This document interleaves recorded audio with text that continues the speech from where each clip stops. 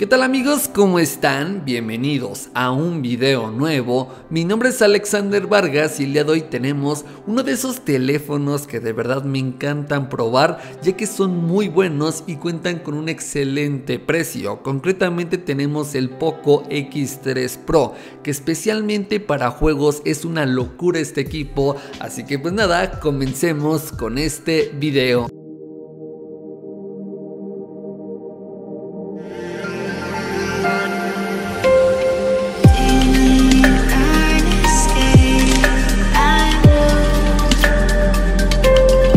Y bien, primero que nada les debo decir que realmente esta no va a ser la típica review con muchos datos e información, sino que realmente les contaré toda mi experiencia. Y para empezar comencemos por hablar del diseño, donde el equipo realmente no destaca mucho, mantenemos una línea totalmente diferente a lo que estamos acostumbrados. Y como pueden ver en la parte de atrás llama muchísimo la atención este logo de Poco que tiene aquí en grande. Y también el módulo de cámaras que es totalmente diferente a lo que estamos acostumbrados. Contamos con unas dimensiones de 165,3 por 76,8 por 9,4 milímetros y un peso de 215 gramos. Realmente no cuenta con las mejores dimensiones, es algo eh, ancho, pesado, pero que bueno, yo creo que por todo lo que tiene internamente y la batería se puede justificar. Por el lateral derecho encontramos el lector de huellas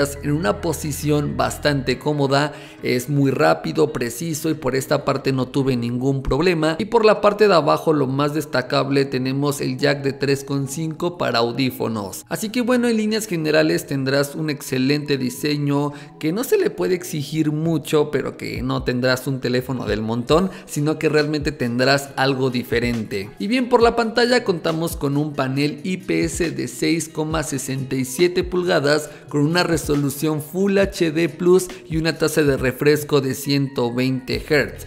En este caso, los mismos comentarios, no será la mejor pantalla del mercado por su precio, sin embargo creo que es bastante aceptable, cumple, es fluida con esta tasa de refresco, cuenta con buenos ángulos de visión, pero creo que sí hay mejores opciones. Bueno, dejando a un lado todos estos puntos quizá negativos por su precio, pasemos con la parte interna, donde encontramos el procesador Snapdragon 860 con 6 u 8 GB de memoria RAM dependiendo de la versión que compres y 128 o 256 GB de memoria interna que en cualquiera de sus dos versiones nos ofrece un excelente desempeño tanto en aplicaciones y juegos, y especialmente en juegos con un rendimiento más exigente o con gráficos más altos se va a defender bastante bien. La verdad es que este equipo me sorprendió cuando lo probé y lo puse a prueba en diferentes condiciones de rendimiento, realmente es una excelente apuesta y creo que al final del día va enfocado para todas esas personas que no tengan tanto presupuesto pero quieran algo gaming y que quizá puedan sacrificar otros apartados. Así que bueno, te lo recomiendo muchísimo, muchísimo por la parte de gaming, que el equipo se desenvuelve perfectamente y por supuesto en cualquier otra aplicación no vas a tener ningún problema. Y bien, ahora pasemos con el software, donde encontramos Android 11 bajo la capa de personalización de Poco MIUI 12 que la verdad es una de mis capas preferidas ya que se ve bastante bien, es muy fluida, además de que viene con pequeñas integraciones en el apartado de personalización que me gusta, así que bueno, creo que por el software bastante, bastante bien. Ahora, frente a la autonomía, encontramos 5160 mAh con carga rápida de 33 watts. Por esta parte, era algo fundamental tener una buena batería, ya que tenemos un teléfono gaming, que sin ningún problema te puede ofrecer dos días aproximadamente. Y si eres un usuario exigente como yo que todo el día va a estar en redes sociales jugando te puede ofrecer eh, un día aproximadamente. Obviamente va a depender de qué tanto lo ocupes el brillo y demás no eh, realmente el equipo creo que por esta parte es uno de sus mejores apartados. Así que bueno considéralo. También tendrás una excelente batería. Ok ahora pasemos con sus cámaras donde en este caso encontramos una configuración de cuatro lentes en la parte de atrás, donde la cámara principal es de 48 megapíxeles con una apertura de 1.79. Tenemos un segundo lente gran angular de 8 megapíxeles con una apertura 2.2. Tenemos un tercer lente de 2 megapíxeles para el modo macro con una apertura 2.4 y finalmente tenemos un último lente de igual forma de 2 megapíxeles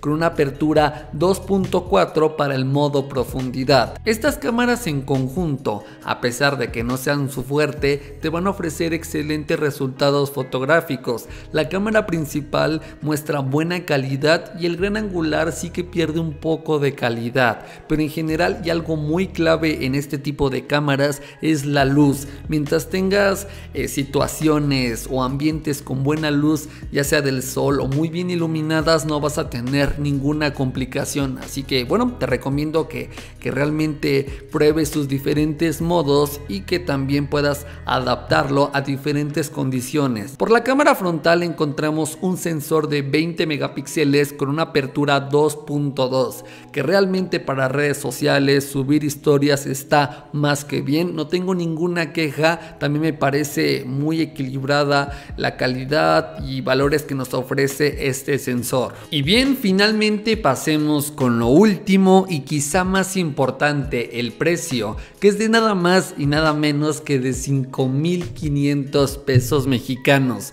Wow, de verdad, wow con el costo de este equipo. Creo que en el sector gaming es lo más económico que vas a encontrar y la verdad es que está muy muy bien. Creo que es equilibrado, obviamente tiene puntos malos, quizá el diseño no me gustó del todo, está algo ancho, las cámaras también no son lo mejor que podemos encontrar por este rango de precio, pero eso sí, la parte interna o el desempeño será de lo mejor que vas a encontrar. Eh, cualquier juego que quieras correr, con gráficos altos, no va a tener ninguna complicación, así que bueno, este equipo se defiende bastante bien. Así que bueno, realmente si estás corto de presupuesto y quieres una opción viable, funcional y sobre todo muy potente, este X3 Pro va a ser una excelente opción, así que pues nada, déjame aquí abajo en los comentarios qué opinas, lo comprarías o no. Y por supuesto no olvides compartir el video y seguirme en mis redes sociales donde les estaré complementando